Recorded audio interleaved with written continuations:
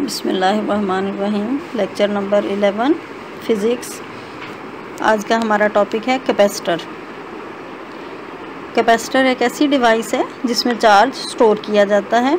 आमतौर पर दो मेटल की प्लेट्स होती हैं, जिसको हम बैटरी के साथ लगा देते हैं।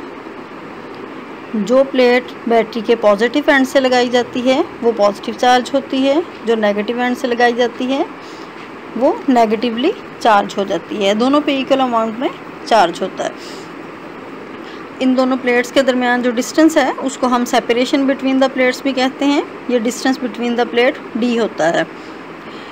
और दोनों प्लेट के दरमियान एयर वैक्यूम या कोई भी इंसुलेटर होगा, जिसको हम डाइलेक्ट्रिक भी कहते हैं। इसके लिए फिर हम कैपेसिटेंस देखेंगे कि जो इसमें एबिलिटी है चार्ज स्टोर करने की, वो कैपेसिटेंस कहलाएगी।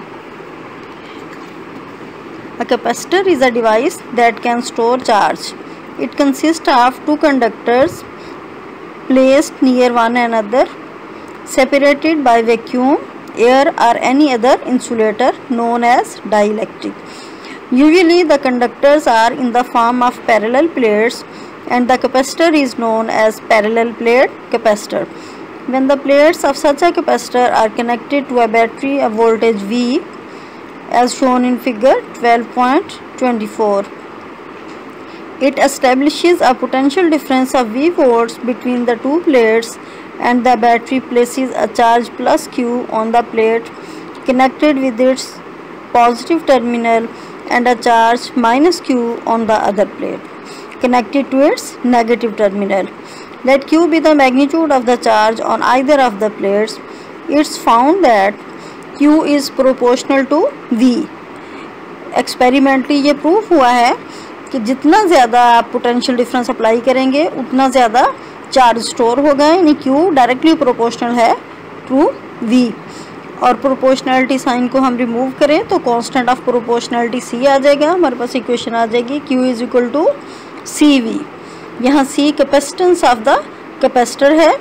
Ability to store the charge और इस फार्मूले में अगर हम सी को निकालना चाहें तो सी आ जाएगा। C is equal to Q over V the proportionality constant C is called the capacitance of the capacitor capacity और इसकी डिपेंडेंस किन फैक्टर्स पे है? ये आपको शॉर्ट क्वेश्चन भी आ जा आ सकता है। बिल्कुल वर्ड टू वर्ड आपने इसको याद कर लेना है। The capacitance of the capacitor depends upon the geometry of the plates and the medium between them it is a measure of the ability of the capacitor to store charge the capacitance of a capacitor can be defined as the amount of charge on one plate necessary to raise the potential of that plate by one volt with respect to the other. The SI unit of capacitance is coulomb per volt. Which because of its frequent use is commonly called farad और इसको F से represent करते हैं after famous English scientist Faraday और Faraday की definition है, ये आपने वर्ड टू वर्ड याद करनी है the capacitance of the capacitor is one farad if a charge a one coulomb given to one of the plates of a parallel plate capacitor produces a potential difference of 1 volt between them. ये बड़ी unit है farad आमतौर पर इसकी छोटी units micro farad और pico farad use होती हैं। नेक्स्ट है topic capacitance of a parallel plate capacitor ये बोर्ड क्वेश्चन है इंपॉर्टेंट लॉन्ग क्वेश्चन है। Consider a parallel plate capacitor consisting of two plain metal plates each of area A separated by a distance D as shown in figure 12.24. The distance D is small so that the electric field E between the plates is uniform and confined almost entirely in the region between the plates. Let initially the medium between the plates be air or vacuum. Then according to equation 12.46 C is equal to Q over V. और ये सी के साथ vacuum लिख दिया, जिसका मतलब ये है कि हमने प्लेट्स के दरमियान कोई डाई इलेक्ट्रिक मीडियम इंट्रोड्यूस नहीं किया। या एयर और वैक्यूम ही है तो C vacuum is equal to Q over V अब प्लेट्स को हमने ज़्यादा दूर नहीं रखना, उनकी सेपरेशन कम रखनी है ताकि फ़ील्ड यूनिफॉर्म रहे। और इस फार्मूले में चार्ज ऑन द कैपेसिटर है and V is the potential difference between the plates है आपने पहले ई e की मैग्नीट्यूड फाइंड आउट की है पोटेंशियल ग्रेडियंट के फार्मूले से। अगर प्लेयर्स के दरमियान डिस्टेंस डी है और पोटेंशियल डिफरेंस वी है तो E is equal to V over D S Q is the charge on either of the plates of area A the surface density of charge on the plates is sigma is equal to Q over A ये आप गाजीज ला की applications में पढ़ चुके हो। Surface charge density charge per unit area को कहते हैं। The electric intensity between two oppositely charged parallel plates गाजिसला की एप्लीकेशन नंबर थ्री में आपने कैलकुलेट किया है E is equal to sigma over epsilon naught अब इसमें सिग्मा की वैल्यू जो ऊपर क्यू ओवर ए है, वो सब्सिट्यूट कर दें तो e आपके पास आ जाएगा Q over A epsilon naught अब ई e आपके पास according to equation 12.48 point V over D है और ये ई e आपके पास Q over A epsilon naught है। इन दोनों को आप इक्वेट करें। V over D will be equal to Q over A epsilon naught और यहाँ से क्यू ओवर वी एक साइड पे कर लें। तो ये आपके पास आ जाएगा A epsilon naught over D और according to equation 12.46 Q over V is equal to C vacuum तो इट मीन्स C वैक्यूम आपके पास आ गया A epsilon naught over D. ये वैक्यूम में आपके पास कैपेसिटेंस की वैल्यू आ गई। अब ये कैपेसिटेंस किन फैक्टर्स पर डिपेंड कर रही है? इसमें देखें, एक एरिया ऑफ़ द प्लेट्स है और epsilon naught permittivity of the free space है। दूसरा सेपरेशन बिटवीन द प्लेट्स है। यानी कैपेसिटेंस की capacitance area of the plates के डायरेक्टली प्रोपोर्शनल है। जितना ज़्यादा एरिया होगा, उतनी कैपेसिटेंस ज़्यादा होगी। मीडियम पे डिपेंड करती है। एप्सलॉन आर्ट है।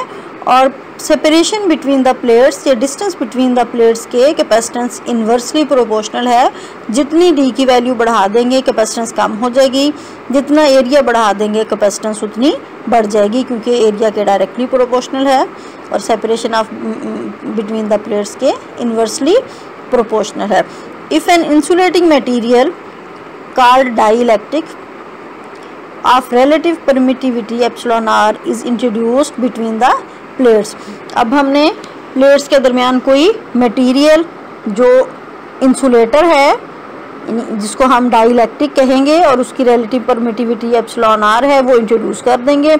The capacitance of the capacitor is enhanced by the factor epsilon R उसकी वैल्यू इंक्रीज कर जाएगी क्योंकि पीछे आपने कूलम ला के साथ भी पढ़ा था एप्सलॉन आर की वैल्यू वैक्यूम और एयर के लिए वन है, बाकी सब के लिए वन से कुछ ज़्यादा है।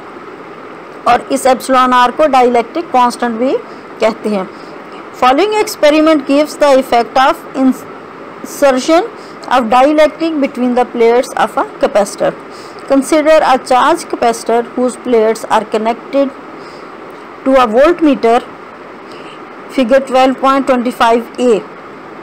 The deflection of the meter is a measure of the potential difference between the plates.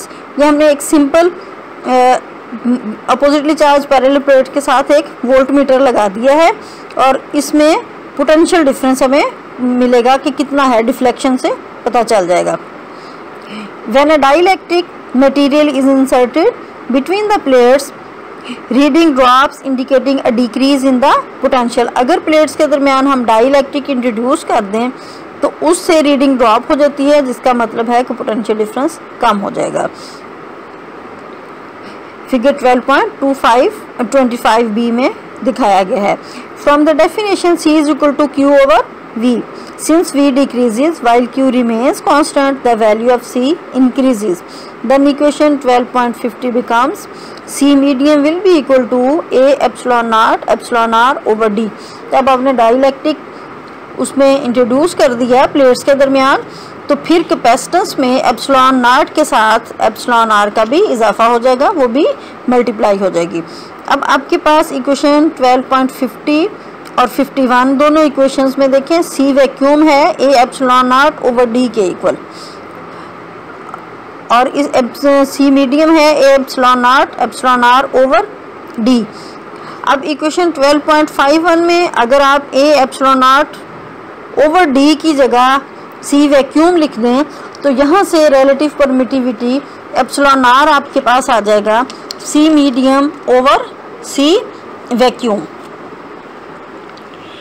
तो यहाँ से रिलेटिव परमिटिविटी की डेफिनेशन भी आ जाएगी आपके पास। इसको डाइलेक्ट्रिक कोफिशेंट या डाइलेक्ट्रिक कांस्टेंट कहते हैं। The ratio of the capacitance of a parallel plate capacitor with an insulating substance as medium between the plates to its capacitance with vacuum or air as medium between them. यानी दो capacitance की ratio है। जब capacitors parallel plates के दरमियान कोई medium introduce कर दें डाइलेक्ट्रिक रख दें, उसकी रेशो उस कैपेसिटेंस के साथ जब प्लेट्स के दरमियान कोई डाइलेक्ट्रिक इंट्रोड्यूस नहीं करें वैक्यूम या एयर होगा। आज के लिए इतना ही।